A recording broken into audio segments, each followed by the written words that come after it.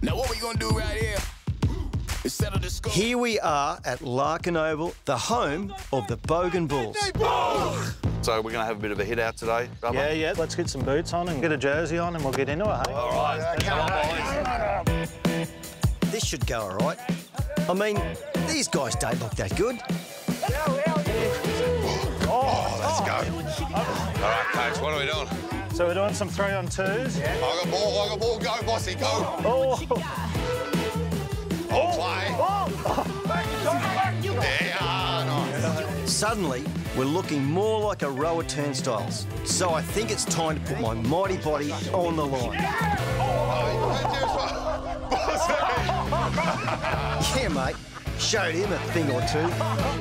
what about Steve? Holy